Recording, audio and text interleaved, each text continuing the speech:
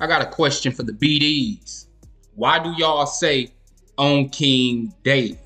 And King David was never a black disciple. In fact, King David was a devil's disciple before becoming a black gangster disciple.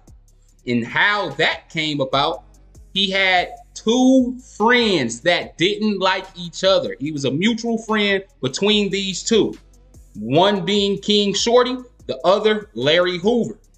King Shorty was the head of the Black King Cobras. Remember the word black. Larry Hoover was the king of the Supreme Gangsters. Remember the word gangsters. David Barksdale brought them together and formed the Black for King Shorty, Gangster for King Larry, Disciples for King David. Black Gangster Disciple. That's how it came together. Now, when David died in 74, that's ironic, 1974, um, that's when it became two kings, King Shorty and King Larry. Now, during this time, Larry Hoover started messing with King Shorty Lady, and they became in a well-known long-term relationship. King Shorty didn't like that.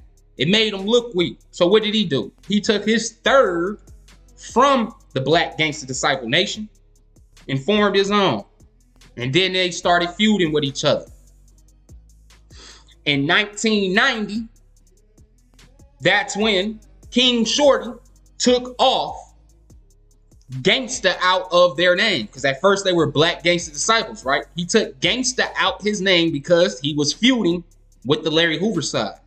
So now they became black disciples. And the reason why they kept disciple in there is to pay homage to king david okay?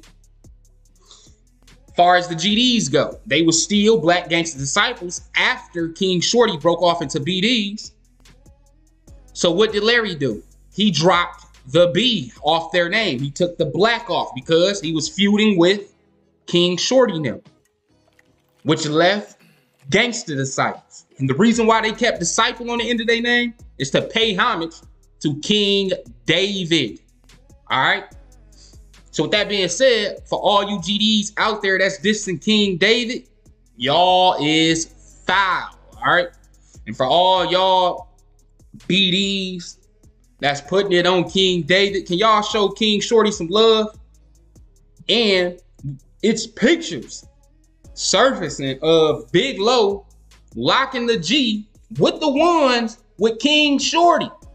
And Big Low is a well-known gangster disciple.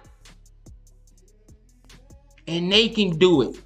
They in Pontiac. They was in Pontiac doing this. Called the Universal Brothers.